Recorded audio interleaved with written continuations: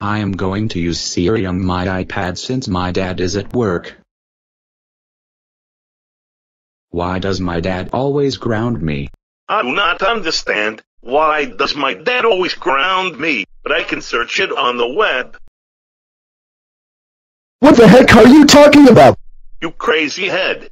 Who are you talking to? A person. No.